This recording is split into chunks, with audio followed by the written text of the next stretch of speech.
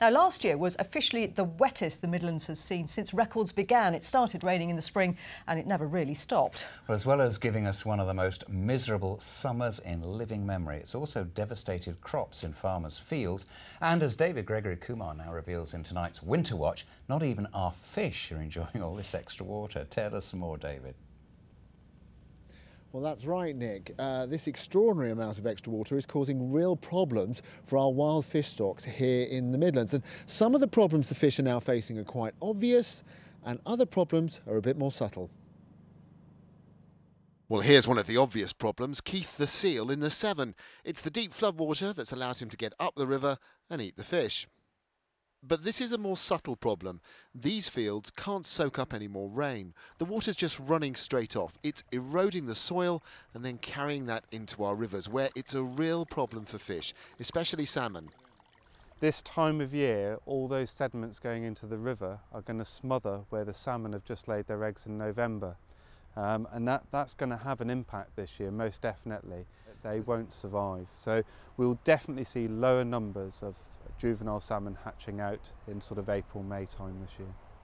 But here on the Attingham Park estate in Shropshire, they're working on solutions to help the salmon, turning their riverside fields from wheat to pasture for grazing. It's going to be organic pasture and it's going to be species-rich pasture, full of flowers, full of different grasses. And even better than that, it'll do the river good as well. Yep, it'll stop any of this soil appearing in the river so that's good for the river because the river doesn't want soil in it it wants nice gravels for your salmon etc and we want to keep our soil because that's our fertility and it's not just salmon they're trying to help here. This pool is linked to the River Severn and it provides a refuge during flooding so smaller fish aren't just swept away by the floodwater. And do they hang around in here? I wouldn't go back into the Severn if it was flooded. This seems a much nicer place to be. Well, what we've seen is that during the summer, the young juvenile fish really do like it in here because it's a, a, little bit warmer and they grow a little bit faster, so the food's there. And that also provides other food for other animals as well, especially the otters. Um, the otters this time of year, when the river's in such flooding condition and going so fast, they find it difficult to feed, so they can come up here and pick up the extra snack. Just over a year ago, we were reporting on the problem salmon faced from too little water. This year, too much water could prove just as difficult. And it's not just fish. Let's broaden things out a bit. We're here at Warwickshire Wildlife Trust, and with me is Steve Trotter, who's their chief executive. Steve, we touched briefly on otters in my report. I mean, they're having a tough time, aren't they? They are indeed, and they're one of uh, the UK's great success stories for conservation. But uh, you know, normally they're an aquatic animal, so they don't mind the floods, but they travel quite long distances, and when they encounter roads, normally they would go underneath them through the culverts and drains, but when it's flooded, they're blocked, and they tend to go over the top, and that's obviously when they become vulnerable to traffic. And um, over the last 12 months, we've had about a dozen or so otters killed on Warwickshire's roads, including two just before Christmas, so it's bad news.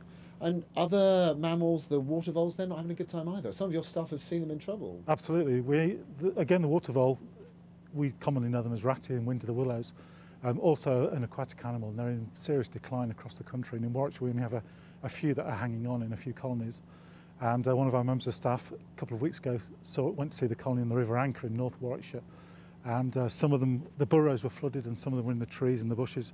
And they even saw one floating off down the river on a, being swept away on a, on a branch. So uh, potentially bad news and we're very concerned about those colonies in, and you'll be doing a brief count what the spring. We will, yeah, we'll have a check in spring to see whether I mean, they've survived. Are there any winners here who are actually coping better with all this water? Well, as always, there are, there are winners and losers, and it, it, some birds which may have been evicted from uh, reservoirs and other places by the deep water may actually we may actually find in spring the high water table level in the soil pushes the invertebrates and the, the worms and insects up to the surface. So perhaps in the spring, lapwing and other waders will benefit if the weather's not too bad for breeding, that is, of course. well, the contrast to last year it's so dry. Thank you very much for that, Steve.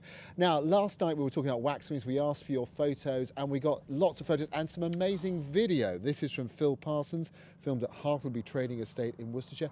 Beautiful shots of these really greedy birds. And we've got this lovely video and all your photos now up on our Facebook page at facebook.com slash Midlands Today. Thank you so much for those. Thanks very much indeed, David. Oh, beautiful picture.